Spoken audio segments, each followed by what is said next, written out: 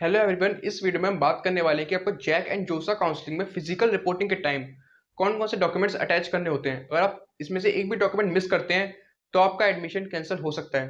अगर by the chance कोई student अपना कोई डॉक्यूमेंट मिस कर देता है तो उसे उस टाइम तीन से चार घंटे का टाइम मिलता है, जिसमें अगर वो डॉक्यूमेंट अरेंज कर लेता है तो उसे कोई भी प्रॉब्लम नहीं आएगी। लेकिन अगर आप इस लास्ट मोमेंट सिचुएशन में फंसना ही नहीं चाहते हैं तो आप इस वीडियो को एंड तक देखें। इस वीडियो में हम जैक एंड जोसा काउंसलिंग में अटैच होने वाले सारे डॉक्यूमेंट्स जो आपको फ़िज़िकल रिपोर्टिंग के टाइम वेरीफाई कराने के बारे में बात करने वाले हैं। सबसे पहले हम बात करेंगे जैक काउंसलिंग के डॉक्यूमेंट्स के बारे में, देन जोसा काउंसलिंग के बारे में। अगर आप स्पेसिफिकली जोसा काउंसलिंग में पार्टिसिपेट करना चाहते हैं या उसके डॉक्यूमेंट्स के बारे में जानना चाहते हैं तो आप डिस्क्रिप्शन से टाइम स्टैम्प पर क्लिक करके उस पोर्शन को देख सकते हैं। तो आइए सबसे पहले हम बात करते हैं जैक डेली में अटैच होने वाले सभी डॉक्यूमेंट्स के बारे में। The first document is receipt of seat allotment letter जब आपको जैक काउंसलिंग में किसी भी राउंड में सीट अलॉट हो जाएगी, उसके बाद फ़ीस सबमिट करने के बाद, आपको जो उसकी रिसिप्ट होगी, जिसमें आपने बताया कि आपने ninety five thousand rupees submit कर दिए हैं जैक काउंसलिंग को, आपको वो slip as a first document attach करनी है।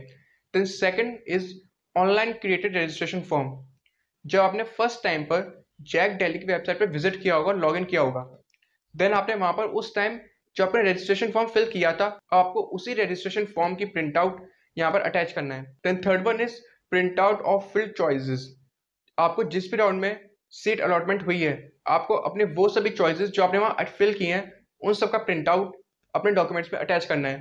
Then fourth one three passport size photograph आपको अपनी सबसे recent one passport size photograph वहाँ पर लेके जानी है। काफ़ी सारे स्टूडेंट्स अपनी, जब वो छोटे होते हैं वाली फ़ोटो लगा देते हैं जिस वजह से उनका रिसेंट फेस और वो वाली इमेज मैच ना होने की वजह से वो फ़ोटो रिजेक्ट हो जाती है। तो आप अपने सबसे रिसेंट वन इमेज को वहाँ पर ऐड करें, तभी वो वैलिड मानी जाएगी। Then fifth document print out of admit card and JEE mains आपको इसमें अपने जेई मेन्स का एडमिट कार्ड और स्कोर कार्ड का प्रिंट आउट अटैच करना है, या फ़र्स्ट अटैम्प्ट या फिर सेकेंड अटैम्प्ट किसी का भी ऐड कर सकते हैं, जिसमें आपके मैक्सिमम मार्क्स आए थे।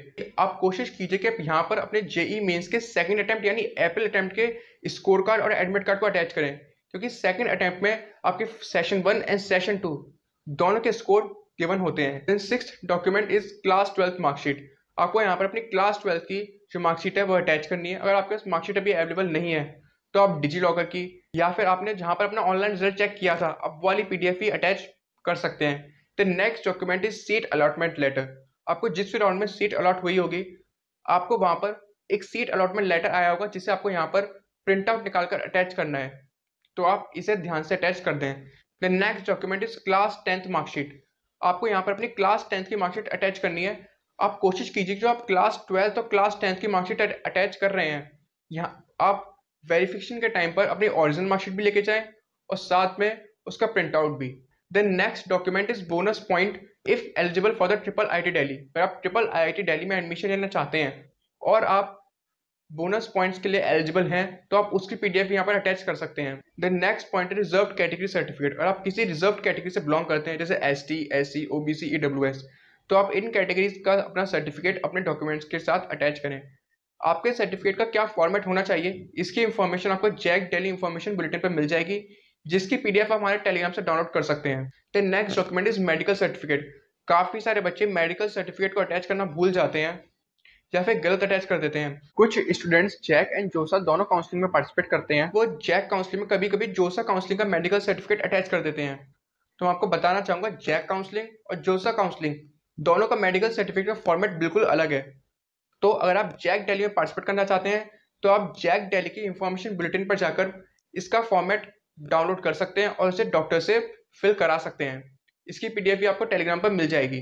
देन इसके बाद अगर आप किसी सब कैटेगरी से बिलोंग करते हैं, जैसे Kashmiri migrant defence service physically disabled अगर आप इन सब कैटेगरी से बिलोंग करते हैं तो आप इसका सर्टिफिकेट भी अपने डॉक्यूमेंट के साथ अटैच करें। सबसे पहले receipt of seat acceptance fee payment then second online created registration form third print out of choices then fourth three passport size photograph then printout of admit card and scorecard, then mark sheet of class 12th, printout of seat allotment letter, then printout of class 10th mark sheet, bonus points documents if eligible for triple IIT Delhi bonus points, reserved category subcategory certificate, medical certificate, अब हम बात करने वाले हैं कि आपको अगर जोसा काउंसिल में कोई सीट अलॉट हुई है तो आपको वहाँ पर कौन कौन से डॉक्यूमेंट्स लेके जाने हैं फ़र्स्ट वन हम बात करने वाले हैं अगर आपको कोई seat T G F T I triple I I T या फिर आई टी में अलॉट हुई है तो आपको इन चार कॉलेज में कौन कौन से डॉक्यूमेंट्स अटैच करने हैं? तो first one is JoSAA seat allotment letter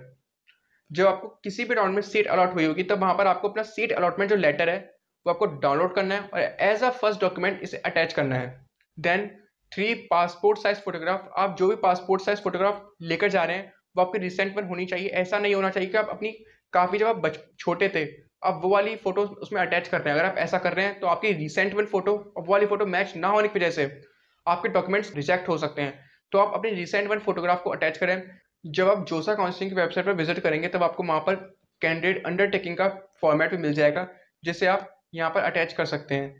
The next document is proof of seat allotment letter fees जब आपको कोई भी सीट अलॉट हुई होगी, तब वहाँ पर आपको अपनी जो फ़ी रिसिप्ट आपने सबमिट की है as a seat allotment fees आपको उसकी पी आपको उसकी रिसिप्ट यहाँ पर अटैच करनी है। अगर आप जनरल कैंडिडेट हैं तो आपने शायद फोर्टी थाउज़ेंड सबमिट की होगी। अगर आप बाकी किसी कैटेगरी से बिलोंग करते हैं देन थर्टी फाइव थाउज़ेंड तो आपको अपनी यही वाली रिसिप्ट अपने डॉक्यूमेंट्स में अटैच करनी है।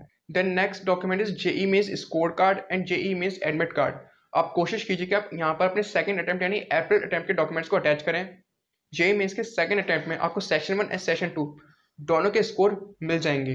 Then class tenth marksheet and class twelfth marksheet आप कोशिश कीजिए जब आप जोसा काउंसलिंग में जाएँ तो आप क्लास टेंथ और ट्वेल्थ की ओरिजिनल मार्कशीट के साथ साथ इसकी फोटोकॉपी वहाँ लेकर जाएँ, ताकि अगर आपको ज़रूरत पड़े तो आप वहाँ पर इसे सबमिट कर दें। Then valid photo identity card इसमें आप Aadhaar card PAN card voter ID card driving licence जो भी आपके पास डॉक्यूमेंट अवेलेबल है, इसे आप वहाँ पर ले जा सकते हैं। और साथ में इसकी फोटोकॉपी भी ले जाइए।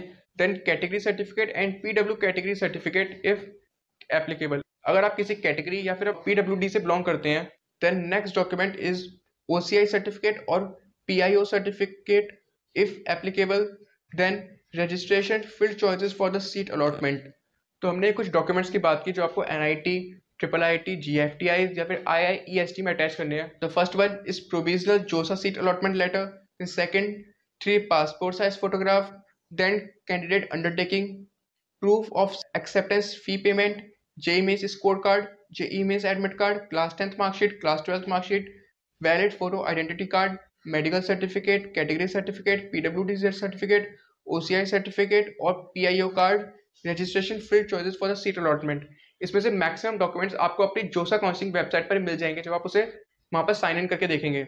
देन अब हम बात करने वाले documents required for JoSAA counselling अगर आप स्पेसिफिकली आईआईटी में आपको अगर कोई सीट मिली है then first one is provisional JoSAA seat allotment letter then two passport size photograph then candidate undertaking photo identity card original JEE advanced admit card अगर आप किसी आईआईटी में आपको अगर कोई सीट मिली है तो वहाँ पर आपको अपना जेई एडवांस का एडमिट कार्ड अटैच करना है। Proof of seat acceptance fee payment then class tenth marksheet class twelfth marksheet medical certificate on the page number ninety two आपको जो जोसा काउंसलिंग में मेडिकल सर्टिफिकेट अटैच करना है, ये आपको जोसा काउंसलिंग की इंफॉर्मेशन बुकलेट में नाइन्टी टू पेज नंबर मिल जाएगा। बुकलेट की पीडीएफ आप टेलीग्राम से डाउनलोड कर सकते हैं। The next one is passport for the foreign national candidate पर कोई इंडियन कैंडिडेट बाहर फॉरेन में है तो उसे जोसा काउंसिल में पार्टिसिपेट करने के लिए अपना पासपोर्ट अटैच करना होगा।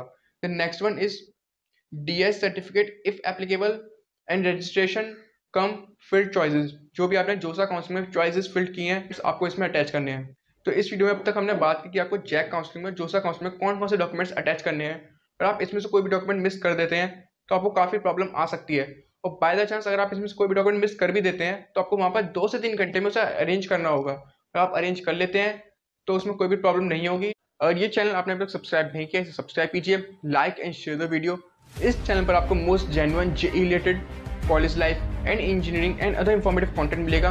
जो शायद किसी और चैनल पे इतना प्रिसाइज ना मिले। तो आप इस चैनल को लाइक कीजिए subscribe and share the video और इसके अलावा मैंने जैक एंड दूसरा काउंसिलिंग प्लेलिस्ट बना रखी है तो आप इसे भी चेकआउट कर सकते हैं। Thank you very much